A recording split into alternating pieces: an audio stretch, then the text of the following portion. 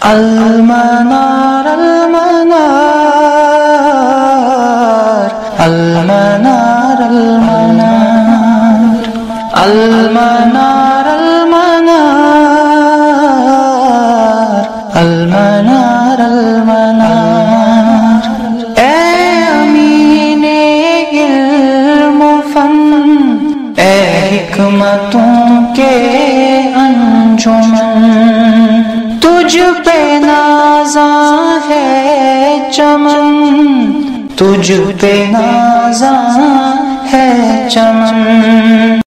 الحمد لله رب العالمين والصلاة والسلام على سيد المرسلين. أما بعد رب اشرح لي صدري ويسر لي أمري واحلل عقدة من لساني يفقه قولي. اللهم أرنا الحق حقا وارزقنا اتباعه وأرنا الباطل باطلا وارزقنا اجتنابه. اللهم صل على محمد وعلى آل محمد.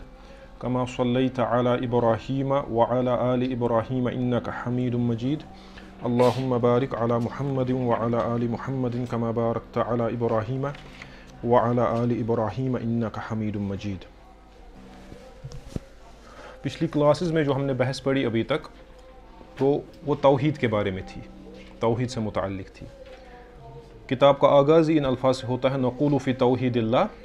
معتقدین بتوفیق اللہ۔ ان اللہ واحد لا شریک له، لا شیء مثله ولا شیء يعجزه ولا الہ غیرہ ٹھیک ہے؟ یہاں تک جو ہم نے پڑھا۔ تو اگر ہم دیکھیں گے اس، ابھی تک جو ہم نے کلاسز پڑھی، یہ ساری توحید سے متعلق تھی۔ اس میں توحید کی تینوں اقسام کو ذکر کیا گیا تھا۔ ربوبیت کی بحث اس میں کی گئی تھی الوحیت کی بحث، لا الہ غیر اس کے بعد اسماء و صفات پہ زیادہ ہی زور تھا، اسماء و صفات کی بحث اس میں آئی۔ تو یہ جو ساری بحث ہے یعنی اللہ تبارک و تعالیٰ کی ربوبیت کی بحث، اس کی الوحیت کی بحث اور اس کے اس کے اسماء و صفات کی بحث۔ یہ ساری جو ہے، یہ لا الہ الا اللہ۔ یہ ساری اس جملے کی شرح و تفسیر تھی، ہے نا؟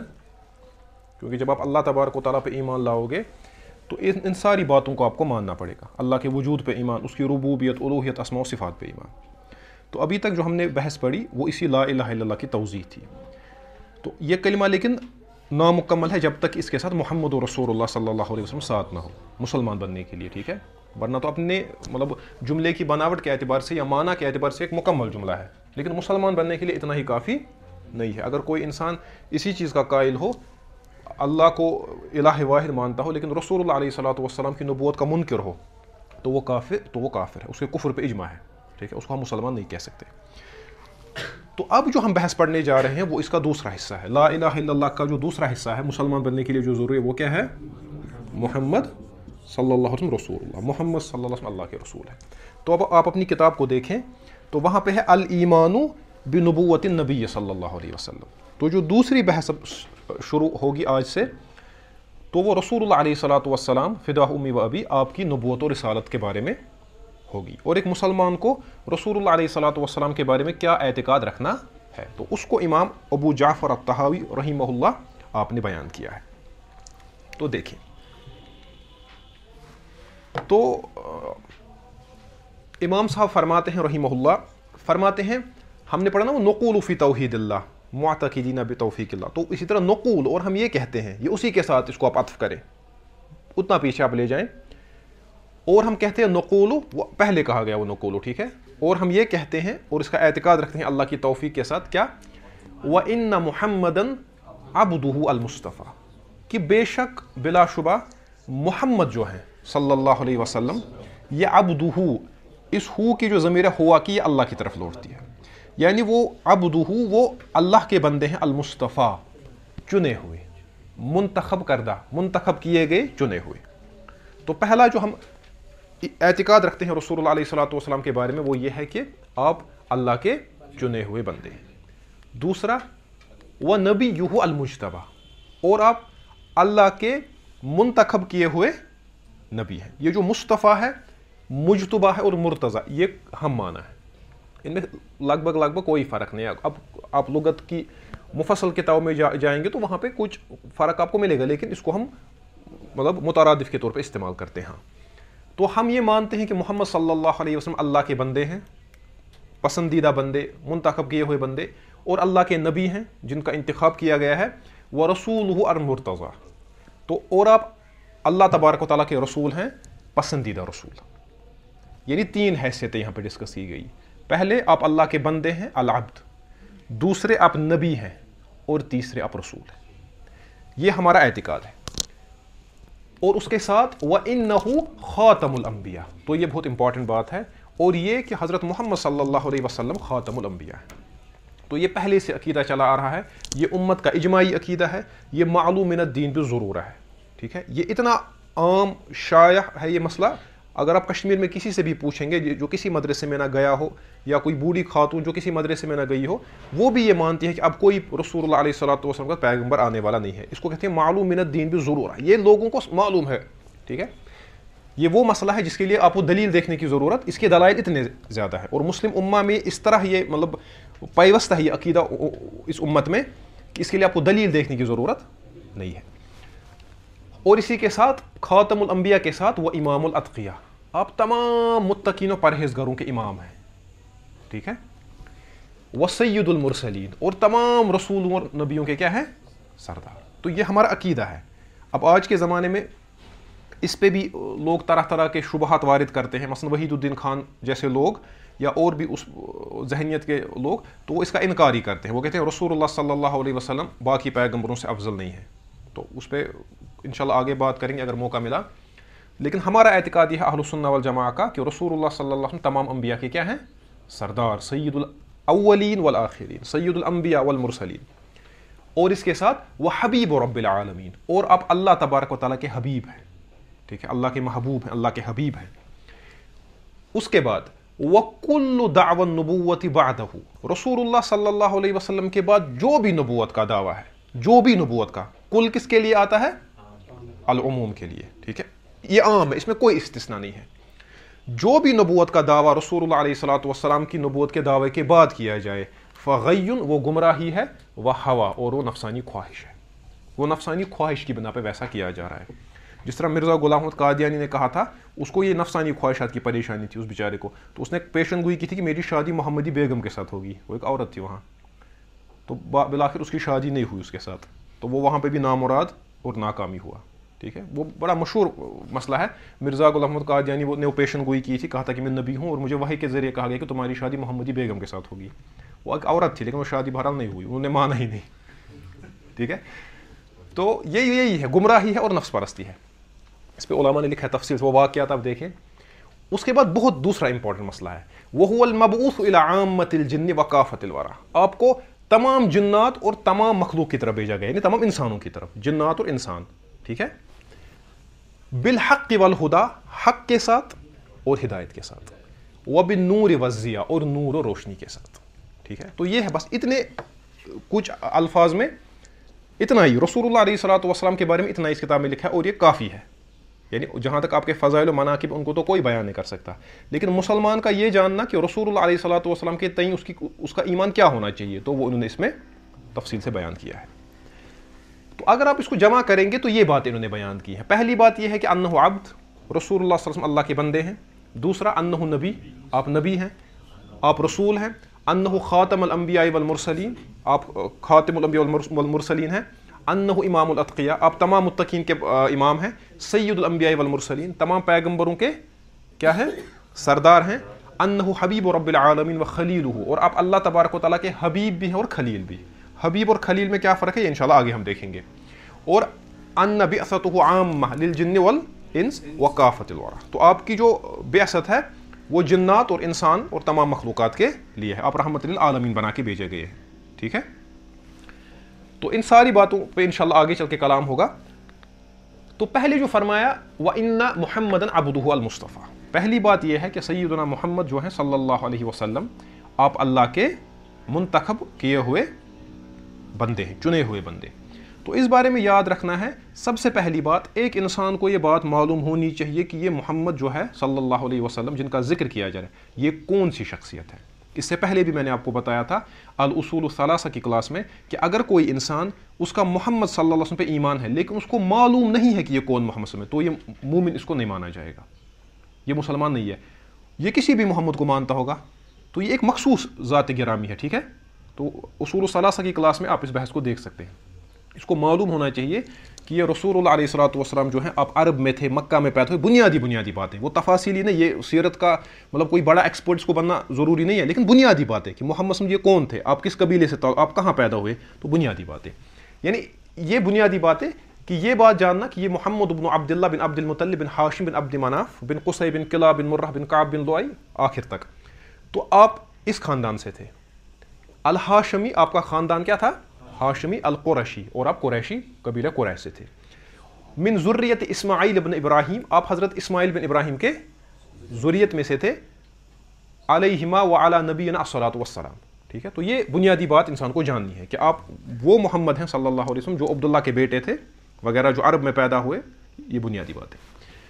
تو اس کے بعد یہ لفظ محمد جو استعمال کیا گیا، وہ محمد ہوا اشہر و اسماعی یہ آپ صلی اللہ علیہ وسلم کے سب سے مشہور ناموں میں سے ہے۔ ورنہ آپ کے اور بھی کئی نام ہیں۔ آپ کا صرف ایک ہی نام، آپ کے کئی نام ہیں، لیکن ان میں سے سب سے مشہور نام جو ہے، وہ محمد ہے، صلی اللہ علیہ وسلم۔ اچھا۔ رسول اللہ علیہ صلاۃ والسلام نے خود اپنے بارے میں فرمایا۔ یہ بخاری کی روایت ہے اور امام مسلم نے اس کو روایت کیا ہے۔ یہاں پہ جو لفظ لکھے ہیں بورڈ پہ، امام مسلم کے ہیں۔ رسول اللہ علیہ صلاۃ والسلام نے فرمایا، انا محمد، میں محمد ہوں۔ وہ انا احمد اور میں احمد ہوں. یہ بھی محمد بھی آپ کا نام ہے اور احمد بھی آپ کا نام ہے. وہ ان الماہی اور میں ماہی ہوں. الماہی مہا یم کے من ہے مٹانا. ٹھیک ہے؟ وہ ان الماہی اور میں مٹانے والا ہوں. کیا؟ الدی یم بی القفر میرے ذریعے سے کفر کو مٹایا جائے گا. ٹھیک ہے؟ تو یہ دیکھیں. دوسری حدیث کے الفاظ یہ ہیں، روایت یہی ہے لیکن الفاظ مختلف ہے تو انا الماہی الدی یم اللہ بی القفر میرے ذریعے سے اللہ.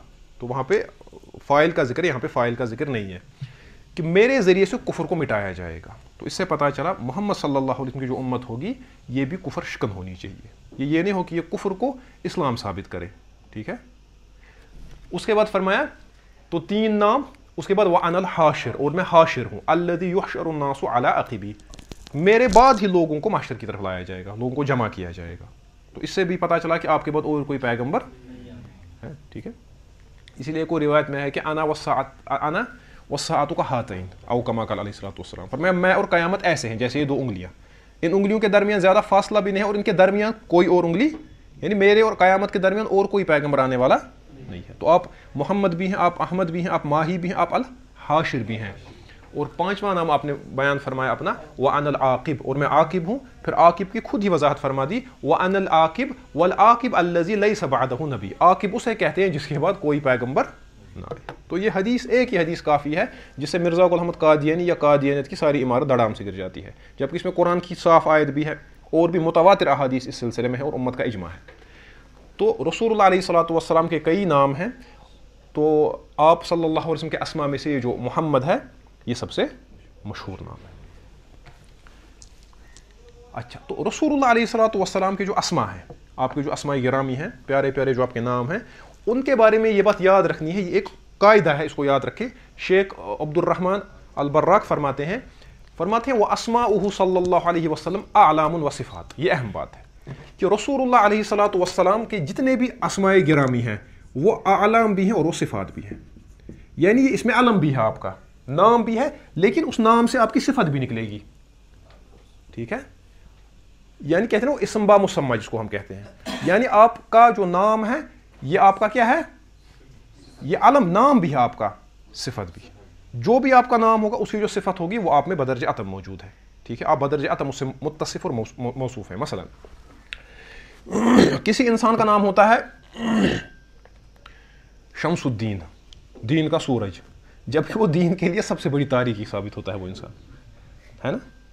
کسی انسان کا نام ہوتا ہے عبد اللہ اللہ کا بندہ، جبکہ وہ سب سے بڑا ادو اللہ ہوتا ہے، سب سے بڑا اللہ کا دشمن ہوتا ہے۔ ایسی آپ کو ہزاروں مثالیں مل جائیں گی، ٹھیک ہے؟ زین الدین، دین کی زینت، جبکہ وہ دین کی بدنامی کا سب سے بڑا باعث ثابت ہوتا ہے۔ تو پتہ چلا یہ ان کے اعلام ہے، یہ ان کے نام ہے، یہ ان کی صفات نہیں ہوتی ہیں۔ لیکن سیدنا رسول اللہ صلی اللہ علیہ وسلم آپ کا جو بھی نام ہے، آپ کا جو بھی اس میں گرامی ہے، وہ آپ کی صفت بھی ہے۔ ٹھیک ہے؟ مثلا یہاں پہ یہ جو محمد کہا گیا، محمد کہا جاتا ہے جس کی بہت زیادہ تعریف کی جائے، بہت زیادہ تعریف کی جائے۔ اور واقعتاً یہاں کی صفت بھی ہے۔ آپ سب سے زیادہ تعریفوں کے لائق ہے انسانوں میں سے، مخلوقات میں سے۔ ٹھیک ہے؟ تو وہی بات بیان فرمائی۔ شیخ براک فرماتے ہیں فسم محمد، آپ کا جو نام گرامی ہے محمد صلی اللہ علیہ وسلم، علم و صفت۔ یہ علم بھی ہے اور صفت بھی۔ ید اللہ کثرت محامدی ہی و کثرت حامدی ہی یہ دلالت کرتا ہے آپ کی یعنی کہ آپ بہت زیادہ تعریفوں کے لائق ہیں اور آپ کی تعریف کرنے والے بھی بہت زیادہ ہوں گے۔ یہ ایسا نہیں ہے کہ نام ہے تو بس اس کا، اس کی صفت آپ میں نہیں ہے نوزب اللہ نہیں۔ آپ کی تعریف بھی بہت کی جائے گی اور آپ تعریفوں کے لائق بھی ہیں اور آپ کے تعریف کرنے والے بھی بہت ہوں گے۔ لِأَنَّهُ اسم مفعول من حمد۔ یہ ہے اصلی حمد یحمد ہے نا؟ حمد یحمد اس کا فائل کیا بنے گا؟ محمد۔ محمد، حمد یحمد کے معنی ہاں، اس کا فائل محمد تعریف کرنے والا۔ لیکن جب اس کا مفعول کیا بنے گا؟ محمد، ٹھیک ہے؟ تو اسی لیے کہا گیا لِأَنَّهُ اسم مفعول من حمد، ٹھیک ہے؟ وہ ابلغ من حمدہ تو یہ حمدہ سے ابلغ ہے۔ وہ آپ لغت میں دیکھیں کیوں ہے، اس کی وجوہات ہے ٹھیک ہے؟ اچھا۔ اس کے بعد دوسری امپورٹنٹ بات جس کو سمجھنا ہے، وہ یہ ہے کہ اشہادت بان النبی صلی اللہ علیہ وسلم عبد اللہ اس بات کی گواہی دینا اور یہ گواہی دینی اشہد اللہ الہ الا اللہ و اشہد ان محمد عبدہ و رسول اس بات کی گواہی دینا، شہادت دینا کہ محمد صلی اللہ علیہ وسلم اللہ کے بندے۔ آپ خدا نہیں ہے اس بات کو سمجھے آپ۔ نہ آپ میں خدائی صفات ہیں، نہ آپ میں الوحیت یا ربوبیت کا ادنا درجے درجے کا شائبہ بھی آپ میں ہے آپ بندے ہیں اللہ کے، سب سے افضل بندے، ٹھیک ہے؟ تو یہ جو ہے، یہ انسان کو اس بات کو ماننا ضروری ہے کہ رسول اللہ اللہ کے بندے ہیں۔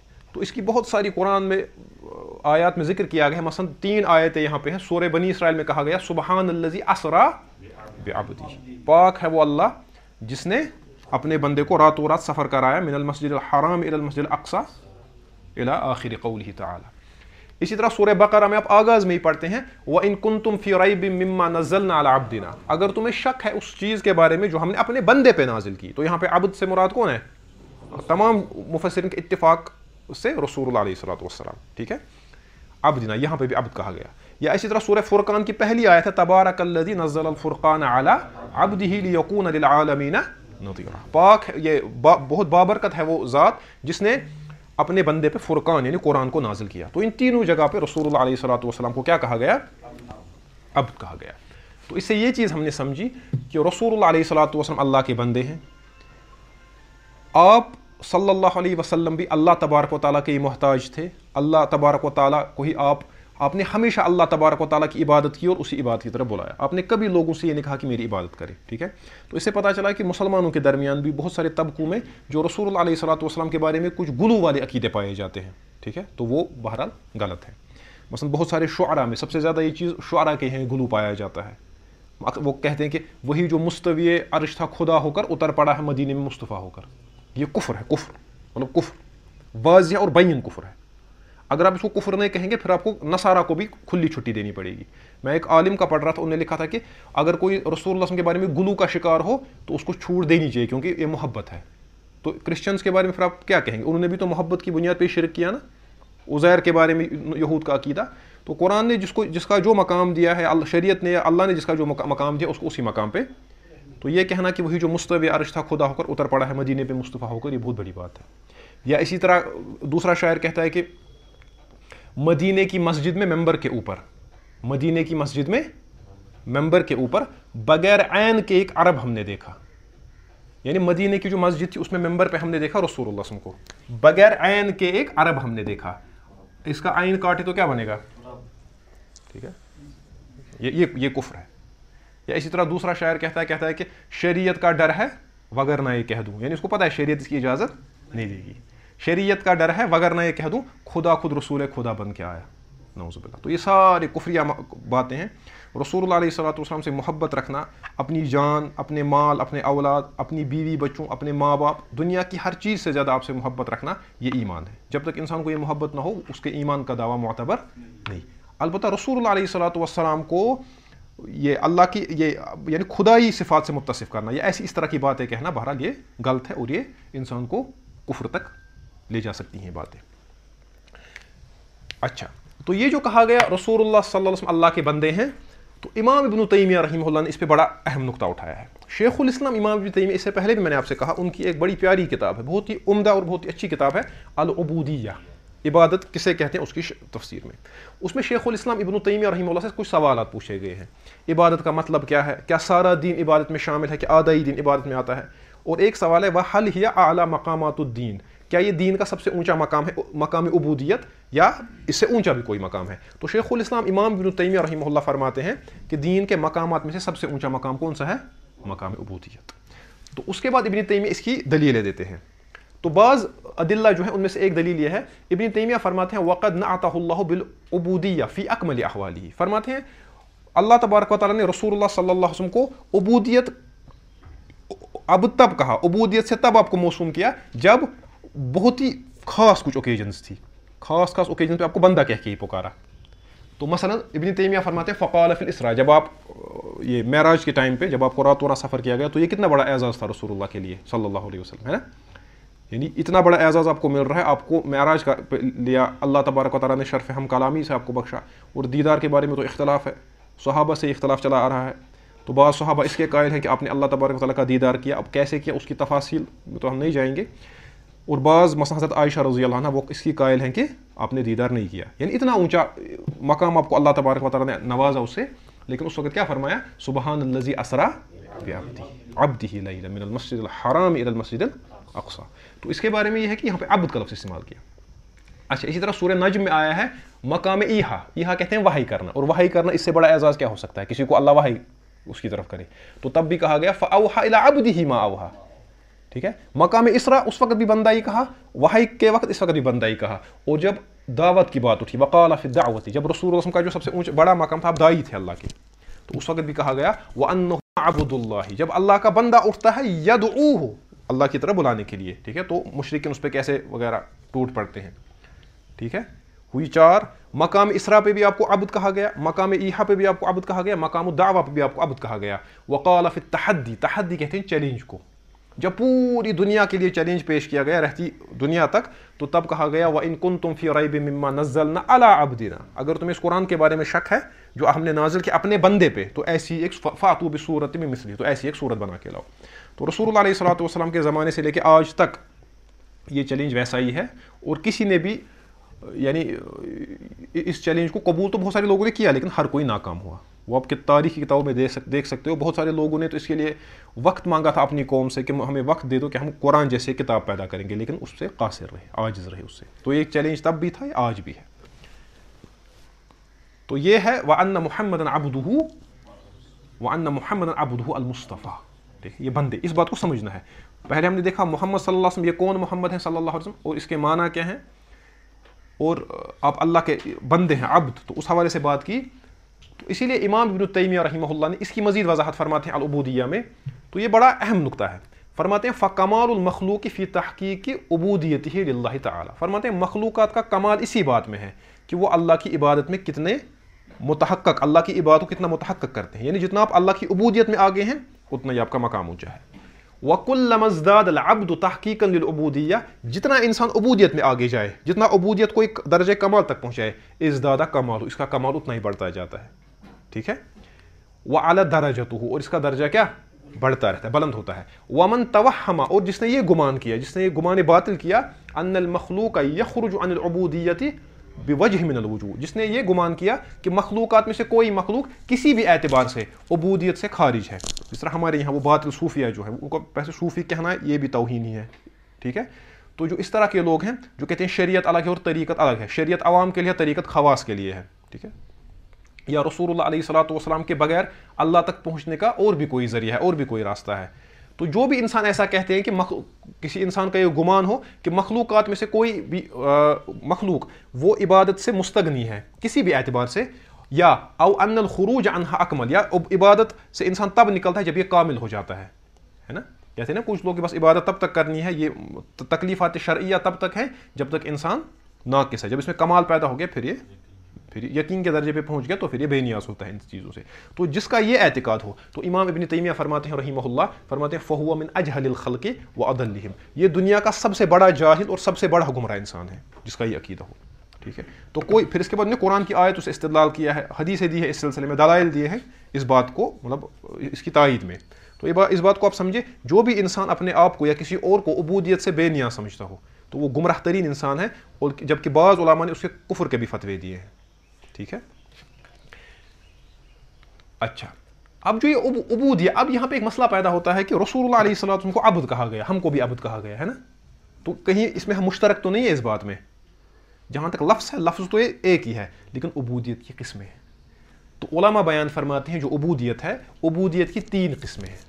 پہلی قسم جو ہے، وہ ہے عامہ، یہ عام عبودیہ ہے۔ یہ کیا ہے؟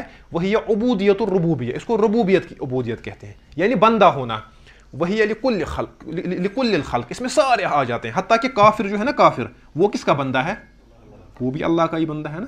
تو عبودیت عامہ کے اعتبار اسی لیے قرآن میں اللہ کہتا ہے ایک جگہ، اللہ پاک فرماتے ہیں کہ تم میں سے جو بھی انسان ہے، وہ رحمان کے پاس ابدا بندہ بن کے آئے گا۔ جو بھی ہے اس میں، چاہے وہ جن ہو، انسان ہو، کافر ہو، مسلم ہو، جو بھی ہو۔ تو عبودیت کی ایک قسم ہے جو عبودیت عامہ ہے۔ ہم سب اللہ کے بندے ہیں۔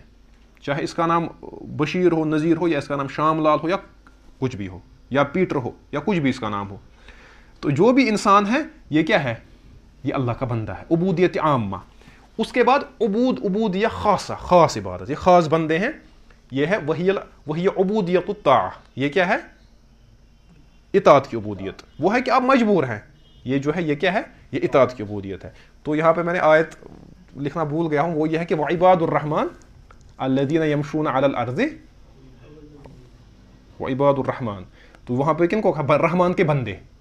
تو کیا اس یہ جو کہا گیا؟ عباد الرحمان۔ رحمان کے وہ بندے ہیں جو زمین پہ تکبر کے ساتھ نہیں چلتے توازو کے ساتھ چلتے ہیں۔ کیا اس میں ہندو، کافر وغیرہ آئیں گے؟ نہیں آئیں گے، کیونکہ وہ عباد الرحمان اس حیثیت سے نہیں ہے۔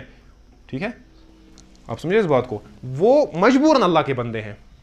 ان پہ اللہ کا قانون، جو اللہ کا جو فزیکل لاز ہیں، وہ اس ان پہ جاری ہوتے۔ اس اعتبار سے وہ سب اللہ کے بندے ہیں۔ اللہ کے قانون قدرت کے تحت جکڑے ہوئے۔ کوئی کافر اگر کتنا بھی بڑا باغی ہو، بغاوت کے کی انتہا پہ پہنچے، لیکن وہ اپنے آپ سے موت کو نہیں ٹال سکتا، بڑھاپے کو نہیں ٹال سکتا، بیماری کو نہیں ٹال سکتا۔ اس پہ اللہ کے جو قوانین ہیں، وہ نافذ ہوتے ہیں اس پہ، نافذ ہو کے رہتے ہیں، ٹھیک ہے؟ تو اس اعتبار سے سب اللہ کے بندے ہیں۔ اللہ کے سامنے سب حقیر و ذلیل ہیں، سب اس کے محتاج ہیں۔ دوسری عبودیت خاصہ، یہ اطاعت والی عبودیت ہے۔ اللہ کی جتنی آپ اطاعت کریں گے اس اعتبار سے آپ کے درجے میں کیا ہوگا؟ اضافہ۔ تو تیسری ہے خاصت الخاصہ۔ یہ کیا ہے؟ یہ خاص الخاص ہے۔ یہ سب سے اونچا درجہ ہے۔ یہ کون سی ہے؟ وہی عبودیت عبودیت، وہی عبودیت رسول علیہ السلاۃ والسلام۔ یہ کن کی عبودیت ہے؟ پیغمبروں کی۔ تو یہ خاص عبادت ہے۔ تو عام انسان اگر وہ کتنا بھی بڑا ولی ہو، تو وہ اس مقام تک، حتیٰ کہ جو اگر کہا جائے کسی کو سید الاولیاء، تو وہ سیدنا ابو بکر صدیق ہیں رضی اللہ تعالیٰ عنہ۔ حالانکہ ایک الگ بحث ہے۔ حالانکہ کیونکہ پیغمبر بھی ولی ہی ہوتے ہیں، ولی کہتے ہیں دوست کو۔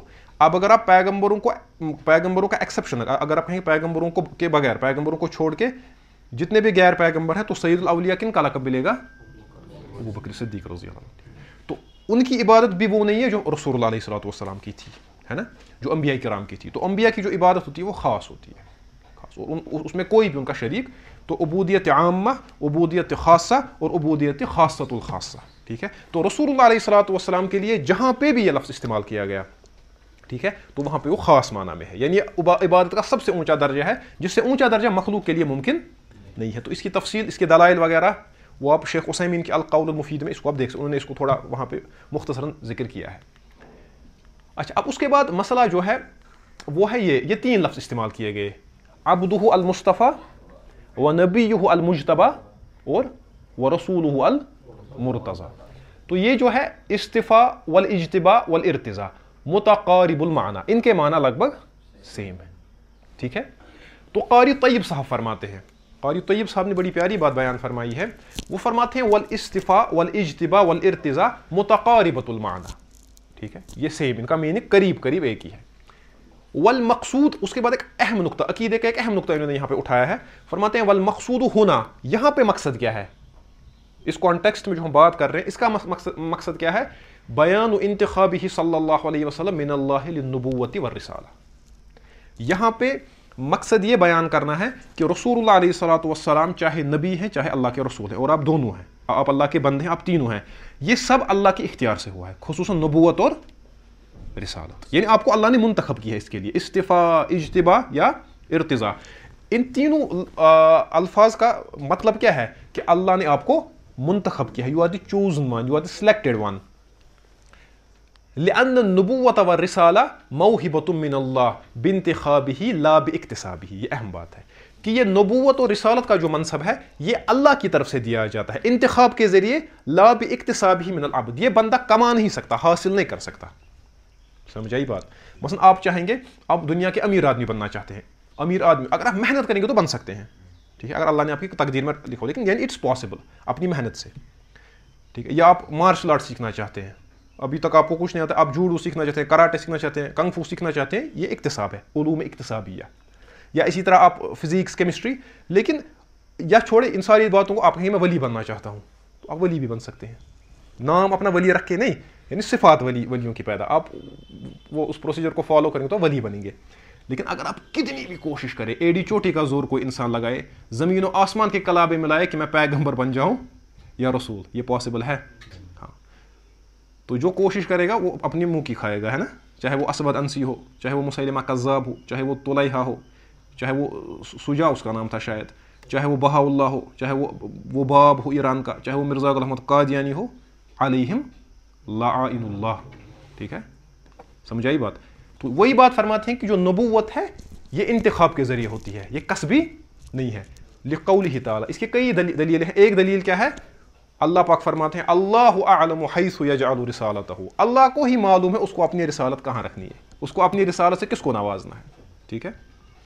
ورنہ تو کہتے تھے وَلَوْلَا أُنزِلَ هَذَا الْقُرْآنُ عَلَى رَجُلَيْنِ مِنَ الْقَرْيَتَيْنِ عَظِيمٍ وہ کہتے تھے، یا تو مکہ کے کسی بڑے آدمی پہ قرآن نازل ہونا چاہیے، یا ثقیف کے، بنو یہ جو، ثقیف جو تھے، بنو ثقیف، طائف کے۔ یا تو مکہ کے کسی امیر رئیس انسان پہ قرآن نازل ہونا چاہیے، یا تو طائف کے۔ تو اللہ کہتے ہیں، یہ تمہارے ہاتھ میں نہیں اہم یکسیمون و رحمت اور رب کیا یہ تمہاری رب کی رحمت کو تقسیم کرنے والے ہیں؟ میں نے تو ان کے درمیان ان کے رزق کو میں نے تقسیم کیا۔ نبوت تو اسے بہت بڑی بات ہے۔ تو اللہ اعلم، اللہ عالم حیث یجعل رسالت ہو تو یہ بڑی اہم بات قاری طیب صاحب نے بیان فرمائی ہے کہ نبوت و رسالت جو ہے، یہ وہ بھی ہے۔ یہ قصبی وہ بھی اور قصبی، ٹھیک ہے؟ اچھا اس کے بعد جو لفظ ہے، میں نے کہا نا کہ متقارب المعنی ہے۔ تو استفاع وہ اختیار یہ کہتے ہیں اختیار کرنا سلیکٹ کرنا چوز کرنا۔ وکیل المصطفیٰ، تو مصطفیٰ کے بارے میں بعض لوگوں نے بڑی پیاری بات کہی ہے، بڑا بڑا اہل دل لوگ جو ہوتے ہیں، وہ کہتے ہیں کہ مصطفیٰ اس کو کہتے ہیں، المختار من الاخیار۔ کتنا اچھا اچھی بات ہے۔ یعنی ایک تو ہو گیا چننا ہو گیا استفاع کہتے ہیں لیکن مصطفیٰ اس کو کہتے ہیں، جس کو جو مطلب بیسٹ ہو نا بیسٹ سب سے بیسٹ میں سے بھی ان کو چنا جائے۔ ٹھیک ہے؟ ایک تو آپ نے پہلے چوز کیا کچھ کو، پھر اس میں سے بھی جب سب سے اچھے انسان کو نکالا، ٹھیک ہے؟ المختار من الاخیار۔ اخیار اچھے لوگوں میں بھی سب سے ٹاپ کا، وہ کون ہے؟ سیدنا محمد مصطفیٰ صلی اللہ علیہ وسلم۔ تو یہ جو لفظ ہے، یہ کئی جگہ قرآن میں آیا ہے، مثلا سورہ حج میں اللہ پاک فرماتے ہیں، اللہ یستفی، استفا یستفی، اللہ یستفی من الملائکت من الملائکت رسول و من الناس۔ اللہ ہی چنتا ہے پیغامبر میسنجرز فرشتوں میں سے بھی اور انسانوں میں سے بھی۔ فرشتوں میں سے بھی جو فرشتے اس پیغام رسانی کے کام پہ متعین کیے جاتے ہیں، معمور کیے جاتے ہیں، ان کا درجہ بہت اونچا ہوتا ہے۔ مثلا تمام پیغ، یہ فرشتوں کے سردار حضرت جبریل ہے کیونکہ وہ پیغمبر فرشتے ہیں۔ رسول ہے رسول بھی ٹھیک ہے؟ اچھا تو رسول اور انسانوں میں سے بھی اللہ چنتا ہے ان کو۔ اور یہ جو یہ ہے استفاع یہ رسول اللہ علیہ صلاح وسلم نے اپنے بارے میں بھی استعمال فرمایا۔ صحیح مسلم کی روایت ہے، باب فضل نصب نبی صلی اللہ علیہ وسلم، کہ رسول اللہ علیہ صلاۃ وسلم نے فرمایا فرمایا، ان اللہ استفا کنانت من ولد اسماعیل. فرمایا، اللہ تبارک و تعالیٰ نے حضرت اسماعیل کی ضروریت میں سے کنانا کو چنا۔ کن کو چنا؟ کنانا وصطفیٰ قریش من کنانا پھر کنانا میں سے کن کو چنا؟ قریش کو چنا۔ چننے کے معنی میں ہے نا، وہی میں کہہ رہا ہوں، چننا سلیکٹ کرنا۔ وصطفیٰ من قریش بنی ہاشم۔ ٹھیک ہے تو قریش میں سے کن کو چنا؟ ہاں.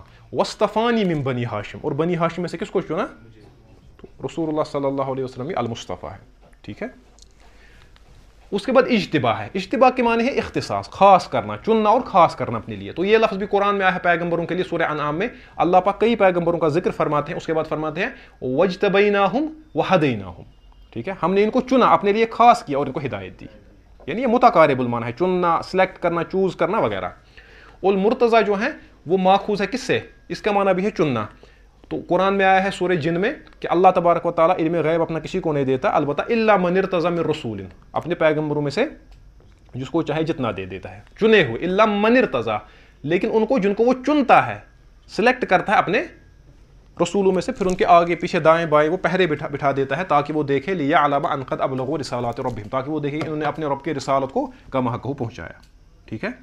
تو مختصر الفاظ میں چاہے یہ لفظ مصطفیٰ ہو، چاہے یہ مجتبہ ہو، چاہے یہ مرتضی ہو۔ تو یہ سارے متقارب المعنی ہیں، ان کا معنی سیم ہے اور یہ، ٹھیک ہے؟ سنونیم کے طور پہ استعمال ہوتے ہیں۔ تو اس کے بعد اتنی سارے فضائل کے بعد یہ شاید آخری آخری سلائڈ ہے ہاں۔ تو قاری طیب صاحب نے ایک بڑا اہم ایک نقطہ یہاں پہ اٹھایا ہے۔ وہ فرماتے ہیں، یہ جو رسول اللہ علیہ صلاح وسلم کی اتنی اسپیشل کوالٹیز ہیں، آپ مصطفیٰ ہیں مشتبہ ہیں، مرتضی ہیں، افضل الانبیاء ہیں، ٹھیک ہے۔ یہ جو ہم آگے دیکھیں گے کہ رسول اللہ علیہ صلاۃ والسلام جو ہے وہ تمام پیغمبروں سے افضل ہیں۔ آپ کی اور یہ صاف اس میں حدیث سے آئی ہے، انا سید البشر، یہ تو صاف حدیث ہے، میں تمام بشر، اور بشر میں تو سارے پیغمبر آتے ہیں۔ تمام پیغمبروں کے بارے میں کہا گیا کہ وہ بشر ہیں۔ پھر بشر کے جو سردار ہیں وہ رسول اللہ علیہ صلاح والسلام دوسری حدیث میں فرمایا، انا سید الاولین والآخرین۔ میں پہلے اور آخری جتنے جتنے بھی لوگ آئیں گے، سب کا سردار ہوں، اس میں پیغمبر بھی آتے ہیں۔ آپ پہلے انسان ہیں، صلی اللہ علیہ وسلم، کہ جب آپ جنت کا دروازہ کھٹکھٹائیں گے تو کہا وہاں سے کہا جائے گا، کون ہو آپ؟ تو آپ جواب دیں گے صلی اللہ علیہ وسلم کہ میں محمد ہوں۔ تو فرش سے کہیں گے مرحبا مبارکبادی ہے آپ کو اور آپ کی امت کو۔ مجھے، ہمیں کہا گیا تھا کہ یہ دروازہ آپ کے بغیر کسی کے لیے پہلے نہ کھولیں ٹھیک ہے؟ یا لوا الحمد آپ کے ہاتھ میں ہوگا، مقام محمود آپ کے ہاتھ میں ہوگا۔ جب سارے پیغمبروں سے شفات کا ذکر کیا جائے گا، کہ سفارش کرے شفات قبرا وغیرہ، تو ہر پیغمبر انکار کرے گا، ہے نا؟ وہ تو مشہور ہے۔ تو لاسٹ میں کہاں جائیں گے؟ رسول اللہ علیہ السلۃ والسلام کے پاس، ٹھیک ہے؟ تو حضور، وہاں پہ آیا ہے کہ وہ بڑی خوبصورت حدیث ہے۔ وہ آپ دیکھیں، تو جو اس میں ہے نا وہ حدیث کے الفاظ کو میرے ذہن میں نہیں آ رہے۔ ہر پیغمبر کہے گا کہ میں اس کے لیے نہیں ہوں۔ یہ میرا کام نہیں ہے۔ میں نہیں کر سکتا، میں نہیں کر سکتا۔ تو جب رسول اللہ علیہ السلّۃ کے پاس آئیں گے تو اپنی انا لہا، میں اس کے لیے ہوں۔ ٹھیک ہے؟ مقامی محمود تو میرے لیے خاص ہے۔ ٹھیک ہے؟ تو ان ساری فضائل کے پیش نظر، کیونکہ میں ان پہ ان شاء اللہ آگے بات ہوگی، کیونکہ ہمارے یہاں جو یہ متجدین کا طبقہ ہے۔ ایک مصیبت ہے یہاں پہ، کتنی پریشانی ہے مسلمانوں کو اس وقت۔ تو جو متجدین کا طبقہ ہے، وہ یہ کوشش کرتے ہیں کہ نہیں جی حضور سب سے افضل نہیں ہے۔ وہ اور عیسیٰ علیہ السلام وحید الدین خان نے تو یہاں تک لکھا تھا۔ وحید الدین خان صاحب نے آج سے چار پانچ سال پہلے یا زیادہ ہی ٹائم ہوا ہو، اس نے لکھا تھا کہ جون کا وار رسالہ، اتنا مجھے یاد ہے۔ اس نے اس میں لکھا تھا کہ جو رسول اللہ وسلم کا جو ماڈل ہے، محمدی ماڈل اب دنیا میں زیادہ نہیں چلے گا، اب مسیحی ماڈل چلے گا۔ اس سے لکھا تھا کہ کیونکہ رسول اللہ علیہ السلاۃ والسلام کی جو زندگی مبارک ہے، وہ تین دوروں میں ہے۔ دعوت ہجرت اور جہاد کہا دعوت کا کام تو ہوگا، ہجرت اب پاسبل نہیں ہے گلوبلائزیشن کی وجہ سے۔ اور جہاد بھی پاسبل نہیں ہے، کیوں؟ ویپنز آف ماس ڈسٹرکشن ہے ڈبلیو ایم ڈی تو یہ حفوات خان صاحب نے کہی تھی۔ کہا تھا یہ محمدی ماڈل ہے دعوت، ہجرت و جہاد کہا نہیں چلے گا۔ پھر کہا تھا مسیحی ماڈل کے حضرت عیسیٰ کا ماڈل وہاں پہ بھی تین دور ہے دعوت دعوت دعوت۔ تو کہا اب صرف دعوت کا کام چلے گا تو اب دیکھیں یہ کتنی بڑی بات ہے۔ تو اصل میں یہی پرابلمس ہوتی ہیں۔ اسی لیے میں نے کہا نا کہ رسول اللہ علیہ السلاۃ والسلام اسی لیے کہا کرتے تھے وہ ناؤز بلّہ من شرور انفسنا نفسوں کے شر سے، نفسوں کے جو شر ہوتے ہیں بہت خطرناک ہوتے ہیں۔ آپ اپنی آپ اپنی شخصیت کو ابارتے ہیں دین کے نام پہ۔ آپ کو پتہ ہے، اگر میں کسی اور ذریعے سے آگے ہوں گا تو مجھے کوئی پوچھے گا نہیں۔ آپ دین کو استعمال کرتے ہیں مشہوری حاصل کرنے کے لیے۔ تو نفس کے جو شر ہوتے ہیں بہت خطرناک ہوتے ہیں۔ ٹھیک ہے؟ سفیانی سعودی رحمہ اللہ فرماتے ہیں فرماتے ہیں، میں نے جتنی بھی دنیا میں مجاہدات کی اپنی زندگی میں، سب سے بڑا مشکل کام جو مجھے لگا وہ لگا اپنی نیت کو ٹھیک کرنا۔ کہتے ہیں، تیس سال سے میں یہ کوشش کر رہا ہوں کہ میری نیت ٹھیک ہو جائے۔ نیت ٹھیک نہیں ہو رہی ہے۔ تو ہمارا جو معاملہ ہم کیا ہے رسالہ ایک پڑھا، ابن تیمیہ کا اردو زبان میں۔ ساتھ میں کسی اور عالم کی کتاب پڑھ لی، تو ہم چوما دیگر نیس، انا والا غیری۔ اس کے بعد لقب آ جاتا ہے مناظر اسلام قامی المبتدین زین الدین، زین العابدین۔ تو یہ صحیح بات نہیں ہے، سمجھائی بات؟ تو اسی لیے انسان کو چاہیے کہ وہ صحیح طریقے پہ اخلاص کے ساتھ، سب سے بڑی شرط ہر عمل کی ہے۔ اخلاص کے ساتھ علم کو حاصل کرے، معتبر علماء سے پڑھے اور جتنا بھی پڑھتا جائے، اپنے آپ کو آج سمجھے توازو اختیار کرے، ٹھیک ہے؟ کیونکہ حضرت آدم علیہ السلام سے بھی غلطی ہوئی تو انہوں نے کان پکڑی اور معافی مانگی۔ ربانہ ظلمنا انفسانہ غلطی ابلیس سے بھی ہوئی، ابلیس نے جسٹیفائی اس کو کیا، ٹھیک ہے؟ سمجھے آپ؟ تو خیر، یہی ہمارے جو متجدین آپ ان کو علماء کہیں، مفکرین کہیں، دانشور کہیں متجدین کہیں، تو ان کی پرابلمز یہی ہوتی ہیں، کیونکہ یہ جو دین ہے اس کو اپنے صحیح طریقے سے حاصل نہیں کرتے۔ کتاب ایک پڑھی، کبھی کسی ایک انگریز کی، کبھی دوسرے انگریز کی، کبھی کسی کی، تو چلتے ہیں ویسے ہی۔ قاری طیب صاحب نے جو یہ بات بتائی ہے اہل سنت اسی کے قائل ہیں۔ یہ ہم انشاءاللہ آگے بھی دیکھیں گے۔ فرماتے ہیں وہ بھی ذالکا ان تمام وجوہات کی بنا پہ استحق کا نبی صلی اللہ علیہ وسلم التقدیم علی جمیع البشر۔ ان تمام باتوں اور فضائل کی وجہ سے آپ صلی اللہ علیہ وسلم کو تمام بشر جو تھے، ان پہ فوقیت ملی، تقدیم ملی۔ آپ کو آگے کیا گیا سب سے۔ اور اس کی بڑی دلیل معراج میں۔ امامت کس نے کرائی؟ ولا يقدم الى الافضل اصول ہے افضل کوئی آگے چلایا جاتا ہے جو ہر اعتبار سے، علم میں افضل ہو، عمل میں افضل ہو، ہر اعتبار سے اس کے بعد فرماتے ہیں، فی جمی المقامات، یہ بڑی گہری بات ہے۔ یہ اس وقت موقع اس پہ بات کرنے کا نہیں ہے۔ اگر اس کو اس کو سمجھنا ہو تو آپ مدارج السالکین کو دیکھیں، ابن القیم کی۔ مقامات ہوتے کیا ہیں؟ یہ وہ مقامات نہیں ہیں جو آپ کو کہا جاتا ہے، وہ خرافات۔ یہ دین کے مقامات ہیں، یہ توکل ہے، یہ انابت ہے، یہ اخبات ہے، یہ محبت ہے۔ یہ جتنے بھی دین کے مقامات ہیں ظاہری یا باطنی رسول اللہ صلی اللہ علیہ وسلم، تمام دیکھیں، یہ کتنی بڑی فضیلت ہے۔ دین کے جتنے بھی مقامات ہیں، ظاہری و باطنی، رسول اللہ علیہ صلاۃ وسلم ہر مقام پہ سب سے اونچے ہیں۔ سب سے ٹاپ پہ، ٹھیک ہے؟ تو آپ کو اسی لیے تقدیم تمام بشر پہ حاصل ہے، ان تمام مقامات میں آپ سب سے چوٹی کے مقام پہ ہیں۔ اس کے بعد وسطحق الافضلیت المطلق۔ آپ کو مطلق افضلیت حاصل ہے ایبسلیوٹ افضلیت۔ سائر الخلق، تمام مخلوقات پہ وہ سیاد العامہ علی ولد آدم فی دنیا والآخرہ ٹھیک ہے؟ تو حضرت آدم علیہ السلام کی جو اولاد ہے، آپ ان کے سردار ہیں اور آپ افضل ہیں سب سے، دنیا میں بھی اور آخرت میں بھی وسار سید للانبیاء والمرسلین۔ اور اسی سے آپ بنے ہیں تمام انبیاء کے اور تمام مرسلین کے کیا؟ سردار۔ تو لیکن یہ ہم آگے یہ بحث دیکھیں گے، اس کا مطلب یہ نہیں ہے کہ جو باقی پیغمبر ہیں، ہم ان کی نوز بلا تنقید کریں۔ اس اس سے رسول اللہ علیہ السلام نے روکا ہے۔ ہمارے یہاں ایک پرابلم یہ بھی ہے کہ ہم رسول اللہ علیہ السلاۃ وسلم کی تعریف کرتے ہیں۔ ایک تو کبھی گلو کرتے ہیں، اللہ سے ملا دیتے ہیں۔ ٹھیک ہے۔ وہ تو اس کا تو ہم نے پہلے ہی رد کر دیا۔ لیکن دوسری ایک پرابلم یہ ہے، وہ یہ ہے کہ جب ہم رسول اللہ علیہ السلاۃ والسلام کی فضیلت بیان کرتے ہیں، ہم ساتھ میں باقی پیغمبروں کو کمپیئر کرتے جاتے ہیں اور ان کا درجہ تھوڑا گھٹاتے ہیں۔ اب دیکھیں، ایسا ہوتا ہے بہت سارے شعروں میں۔ جو فلاں پیغمبر سے نہ ہوا، فلاں پیغمبر سے نہ ہوا، تو یہ۔ بلکہ ہمارے جو یہ شیعہ حضرات ہیں، اب آپ محرم تو آ رہا ہے، اب آپ ان کے پوسٹرز دیکھیں۔ خود میں نے ان کے پوسٹرز پہ پڑھا ہے، وہاں پہ یہ لکھا ہوتا ہے کہ جو کام ابراہیم و اسماعیل سے نہ ہوگا، وہ حسین نے کر دیا۔ ٹھیک ہے؟ تو اس طرح کی باتیں یہ صحیح نہیں ہے ٹھیک ہے؟ تو رسول اللہ علیہ السلاۃ والسلام کے بارے میں بھی جب ہم اس طرح کی باتیں کہتے ہیں، تو باقی آپ حضور کی فضیلت بیان کرے، آپ کا مرتبہ بیان کرے، آپ کی افضلیت بیان کرے، لیکن یہ ایسے بیان کرنی ہے کہ کسی اور پیغمبر کی کثر شان اس میں نہ ہو۔ اگر کسی اور پیغمبر کی کثر شان ہو گئی یا ان کی تنقید کا کوئی پہلو نکلا، تو اس سے آپ کے ایمان کو خطرہ ہے۔ اسی لیے میں نے آپ سے اکثر یہ کہتا ہوں کہ جو اہل السنہ والجماع ہے، یہ اہل العدل والاعتدال ہے، اہل الوسط ہے۔ تمام فرقوں کے درمیان یہ بیلنسڈ حکومت ہے بیلنسڈ جماعت ہے، ٹھیک ہے؟ تو یہ چیز رسول اللہ علیہ وسلم افضل الانبیاء ہیں، سید المرسلین ہیں، لیکن جو باقی پیغمبر ہیں، ان کا اپنا مقام ہے، ان کا اپنا درجہ ہے، ٹھیک ہے؟ تو جس طرح ہم رسول اللہ علیہ السلاۃ والسلام کے بارے میں اگر کبھی کوئی گستاخی ہوتی ہے، جس طرح ہم اس پہ سیخ پا ہوتے ہیں، تو اسی طرح ہر کسی پیغمبر، ہے نا؟ ہر کسی پیغمبر کے بارے میں ہماری وہی جذبات ہونی چاہیے۔ کیونکہ رسول اللہ علیہ صلاۃ والسلام نے حضرت موسیٰ کے بارے میں فرمایا فرمایا یہودیوں سے زیادہ ہم حضرت موسیٰ کے حقدار ہیں۔ حضرت موسیٰ ہمارے ہیں، ٹھیک ہے؟ حضرت موسیٰ سے، یہودیوں سے زیادہ ہم ان کے حقدار۔ حضرت عیسیٰ، عیسائیوں سے زیادہ ہم ان کے حقدار۔ سیدنا علی، حسن، حسین، فاطمہ، ٹھیک ہے؟ رضوان اللہ تعالیٰ علیہ اجمعین۔ اہل تشیع حضرات جو ہیں یا جو روافظ ہیں، جو صحابہ پہ تبرہ پر کے قائل ہیں وغیرہ، تو ہم ان کے اصل میں حقدار ہیں۔ پھر کبھی ایسا بھی ہوتا ہے، ہم ان کو بھی بانٹ، بانٹتے ہیں۔ میں ابو بکر کے لیے لڑائی کروں گا، عمر عثمان کے لیے۔ حضرت علی، ٹھیک ہے، پھر تو یہ ایکسٹریمز پہ چلے جاتے ہیں۔ کبھی ایک ایکسٹریم پھر کوئی حضرت علی کی فضیلت بیان کرے گا تو اس پہ بڑے لگتا ہے کہ یہ شیعہ ہے، ٹھیک ہے۔ اپنے بیٹے کا نام علی رکھیں، دیکھیں۔ پوچھیں گے تم شی حسن اپنے بیٹے کا نام رکھیں۔ تو یہ یعنی کہنے کا مقصد ہے کہ دین کو ویسے ہی اہل سنت کا جو منحج ہے، اور میں آپ کو ایک بات بتاتا ہوں، اکثر اگر آپ دیکھیں گے، ہمارے جو علماء گزرے ہیں، ان میں اکثر کے نام یا تو محمد ہے یا تو احمد یا علی ہے، ٹھیک ہے۔ تو ضرورت ہے اعتدال کی هذا ما عندي والله تعالى أعلم. الله ربي واحد وأنا بذلك أشهد. ذا مبدئي وأصوله بالرغم مما يجحد. وشهادتي يا